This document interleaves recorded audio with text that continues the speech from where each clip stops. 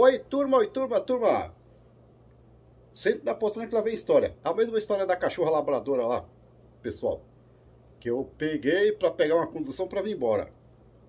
Aí eu deixei lá a família, desci para pegar um ônibus assim. Aí tem uma quebrada assim, ó. Tem uma comunidade, tem uma quebrada para pegar o busão embaixo. Ou eu desci aquela rampa, ou então ia ter que andar mil metros lá para voltar para pegar o ônibus no ponto. Aí eu tô vendo a molecada nova pulando ali para descer. Eu falei, ah, vou fazer isso também. Peguei e vou um penhaço do caramba e segura aqui, segura ali. Sujei os braços, cotovelo, tudo de terra, de, de barro. Mas desci. Aí desci, cheguei no hoje lá do lado assim. Eu falei pro pessoal que tava assim, eu falei, passa ônibus aqui pra Zona Norte, Paulista, sei lá, eu, pra algum lugar aí. Aí o cara falou, rapaz, eu, eu não sei não, eu moro próximo aqui. O pessoal que tinha é um lugar meio um lugar assim meio estranho, porque eu não conhecia o local, o ambiente, fiquei meio assim. Aí tem um bar do lado, eu falei, ah, vou perguntar no bar. Aí entrei no bar, e o bar tinha um, um o cara com som ligado, o pessoal dançando forró assim. Aí eu entrei, eu falei, ah, para não pedir informação, vou ter que, amigão, dá um refrigerante aí.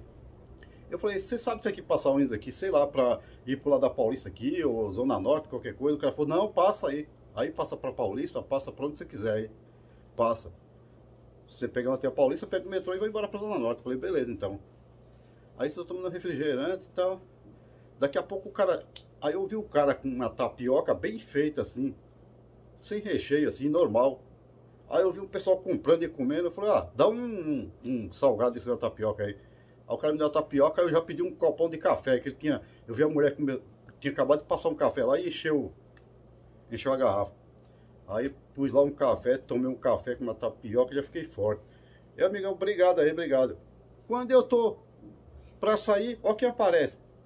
A mulher lá do cara com a filha dela. Entrou, assim, me viu, falou, é, você tá aqui ainda?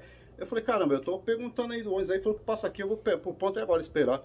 Ah, eu te falei, deixa eu ligar pro meu marido que ele vai te deixar em casa. Eu falei, não, não, é muito longe, pô, deixa aí. Eu vou pegar o busão aqui, até o metrô, depois do metrô eu pego e vou embora. Beleza, então. Aí fiquei assim, a mulher veio para um bar, que tinha gente dançando lá, ela e a filha. Eu falei, ah, cachorra. Ah, a cachorra nós colocamos lá na... Numa área lá da casa lá, ela tá lá, coloquei ração e coisa, daqui a pouco a gente vai lá dengar ela. Falei, beleza, então. Cara, que essa mulher vem, a mulher é louca, vem num, num bar desse aqui, o marido acho que nem sabe, eu sabe, sei lá, eu, um lugar meio estranho. É, sei lá, eu achei bem perigoso. Aí daqui a pouco tô lá, passou um busão. Vi um busão destino paraíso, eu acho. Eu catei ele e vim embora.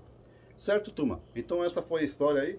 Eu fiquei meio receoso para o cara não me deixar em casa, porque a mulher tinha me dado uma caixinha lá, um dinheiro, 250 reais. Aí resolvi pegar o busão. Nunca mais tinha pegado um busão também.